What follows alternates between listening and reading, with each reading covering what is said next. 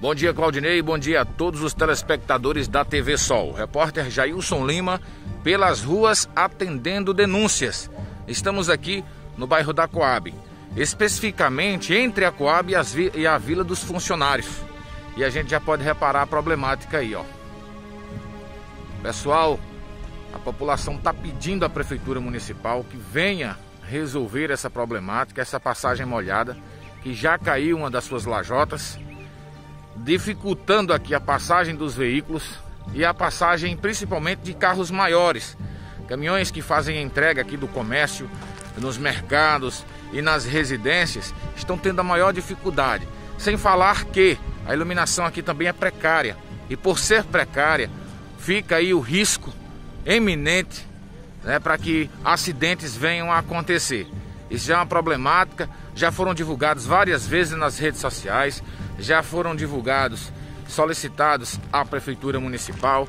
Todo mundo aqui desse bairro praticamente já fez essa denúncia, já fez esse relato.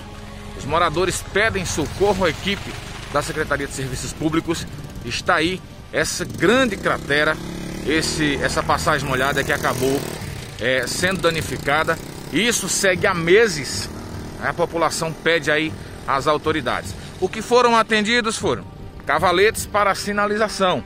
E eles, infelizmente, acham que isso não é, complementa, não, ser, não tem uma certa serventia. Eles querem a, a solução do problema. Eles pedem para que, a, que essa lajota seja repassada, recolocada, para que tudo possa seguir no seu curso normal.